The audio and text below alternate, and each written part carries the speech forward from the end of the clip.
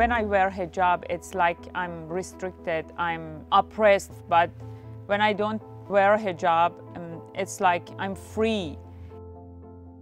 Uh, when I decided to take it off in public, it was like um, I have a power and I can bring back uh, my dignity. I remember women without hijab.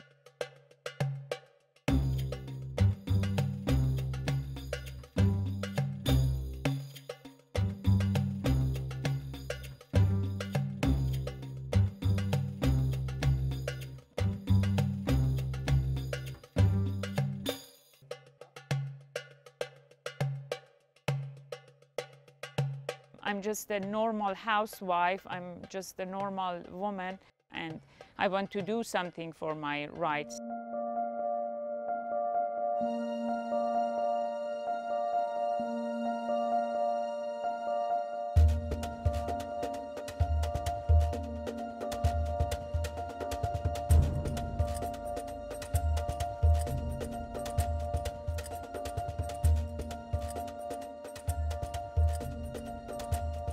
She was in um, prison for one month.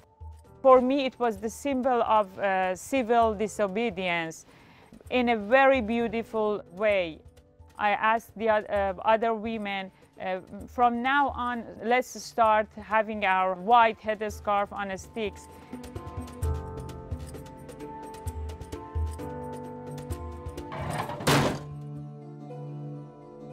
They tried to force me to tell I was a spy. I was furious, I was scared. Then they um, called for uh, some lady officers.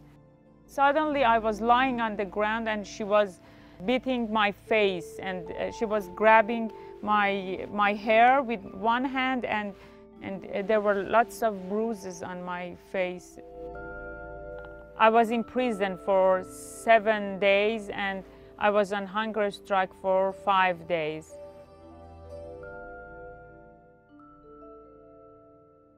In May, uh, I went to Kashan City with my nine-year-old uh, son and one of my friends.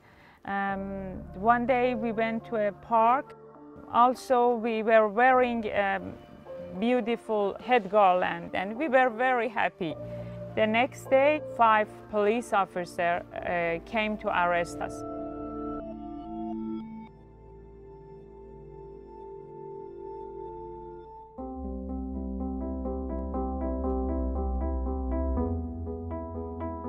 I just took a few items with me and that was it. I had proper hijab because I didn't want to attract any attention. I took a look at my house. I had my baby there. And I left the house.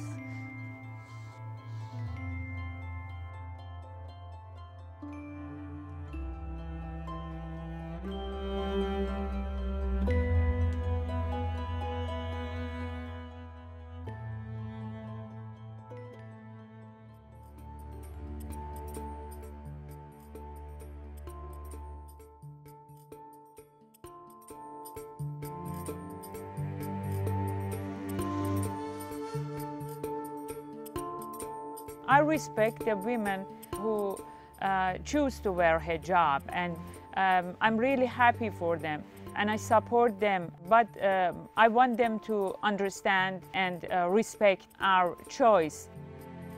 I know the, the women inside Iran are going to be brave enough to support each other. Around the world, uh, little by little, in, in all countries, women are getting back their rights and it's time for Iranian women and they can't stop us.